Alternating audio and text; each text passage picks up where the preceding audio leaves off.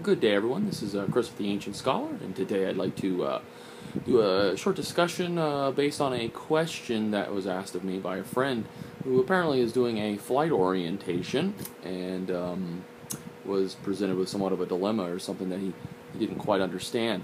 Uh, so hopefully I can clear that question up uh, for him and maybe other people that um, have come across this dilemma. And the question was presented to me like this uh, Hey, Chris, uh, how does denitrogenation cause uh, the FRC or the functional residual capacity to decrease? Well, uh, first I had to identify exactly what was meant by, um, actually, the, this, the specific terminology was used It was a quote unquote nitrogen washout. And I, at first I had to identify what exactly we were talking about in regards to nitrogen washout. As you know, there are the um, nitrogen uh, breath tests that are used in um, pulmonary function testing, uh, and that actually is one of the ways that we are able to measure uh, indirectly um, uh, some of these these capacities and volumes that um, can't be um, directly measured, such as the functional residual capacity, the residual volume, etc. Um, and there is another type of nitrogen washout that is often talked about in um, airway management.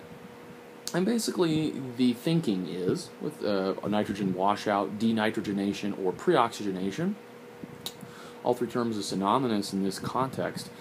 Um, that uh, what we do is we have a patient um, inhale uh, very high FiO2, preferably 100% or uh, FiO2 of 1, uh, for several minutes prior to intubation. What does this do? Well, this washes the nitrogen out of the lungs. Um, the typical atmosphere we breathe is about 80% nitrogen, 20% oxygen. Um, we wash that nitrogen out, replace with oxygen. I have much more oxygen in my lungs, and that gives me somewhat of a reserve during um, airway management um, or airway manipulation procedures, particularly uh, in rapid sequence intubation and anesthesia induction, where I am um, I have an apneic patient and I'm, I'm intubating them. Um, that you know allows that, that increases the amount of oxygen in the lungs and kind of gives me a reserve, and it can be important, particularly in um, um critically ill, moribund patients, pediatric patients, and um, even uh, very obese patients. Uh, this can be helpful. Uh, so that's a little bit of context as to what we're talking about. So let's go ahead and dive into this question. And the question is Does preoxygenation uh, decrease functional residual capacity?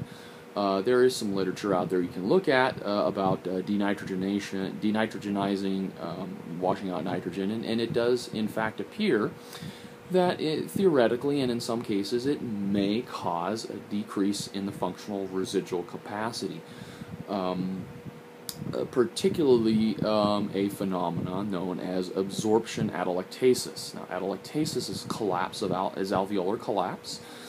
If the alveoli are collapsing, that decreases the amount of volume available in the lungs, and of course, that's going to decrease the functional residual capacity. Um, so let's talk about how this can happen. Now, am I gonna and am I saying that this is uh, potentially dangerous in every patient or uh, a particularly cons- particularly valid concern in every patient that gets preoxygenated? No, but it is at least a, a theoretical and potentially valid concern in certain patients. So the way this works, again, we go back to uh, let's talk about the chemistry of the two major gases in the atmosphere, nitrogen and oxygen. Okay, uh, if we look at nitrogen, nitrogen is a um, is a compared to oxygen is a rather large atom.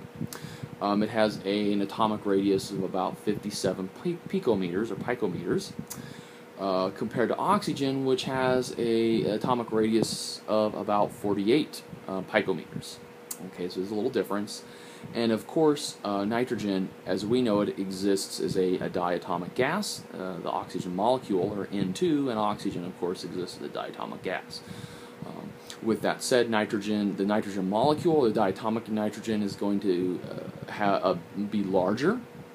It's going to be a larger molecule. It's going to take up more space than oxygen.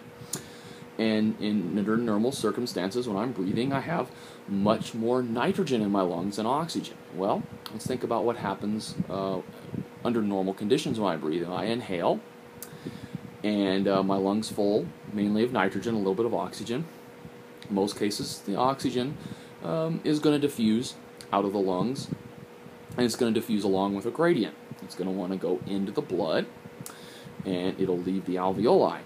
Um, however, the good thing is we have all this nitrogen, which, for the most part, stays in the alveoli. Obviously, we have a certain amount of nitrogen um, dissolved in our blood um, as, a, as a gas. Uh, but for the most part, the nitrogen stays in the alveoli. So I inhale, the alveoli fills up with gas. There's oxygen and uh, nitrogen in there. The oxygen leaves, but the nitrogen is left is is left in there, and it keeps the alveoli open. It prevents the alveoli from collapsing. Fair enough. Intuitively, that makes sense. Now, here's theoretically where we can run into problems: is when I get rid of all that nitrogen, I breathe 100% oxygen. Uh, I get rid of all that nitrogen, and then I have somebody who's maybe um, moribund or, or maybe they're, they're critically ill, and they are you know, using a lot of oxygen. I, you know, I don't have that nitrogen in there. The oxygen um, diffuses out of the alveoli along with its gradient. I no longer have nitrogen in there, you know, big fluffy mo- molecule if you want to look at it that way, to um, exert a pressure to help keep the alveoli open and um, the alveoli are then at risk for collapsing because um, I don't have that nitrogen available to occupy some of that space. Um, so I just drew a couple of real crude pictures here just to give you a visual representation here. I have nitrogen, a relatively larger atomic radii, radius than oxygen, and just kind of a not to scale comparison. Look, the nitrogen is a bigger molecule than oxygen. Um, and then this picture, again, cut rather crude, but I, here's a normal alveolus filled with um, oxygen nitrogen, about 80% nitrogen, 20% oxygen. Oxygen is going to diffuse with its gradient, but the nitrogen um, is left to exert a pressure, uh, occupy space, and keep the alveolus or the alveoli, because you're going to have lots of these, um, open. However, in the case of um, nitrogen washout here, I've lost the nitrogen and all I have is oxygen. And as the oxygen diffuses out, because it's you know it's metabolically used, um, the alveoli is potentially at risk for um, collapsing, and of course that creates atelectasis. And if the atelectasis um, is significant enough, that can impact the functional residual capacity. Um, and we do see there's a lot of literature out there that does in fact say, hey, look, people that have surgical procedures come out of surgery and they do tend to have a, dec- uh, a reduction in their functional residual capacities. Um, you know, due to anesthesia. Now, uh, I think it'd be a bit myopic to say that this is due entirely to absorption atelectasis. Uh, there, you know, lots of factors involved with, with anesthesia.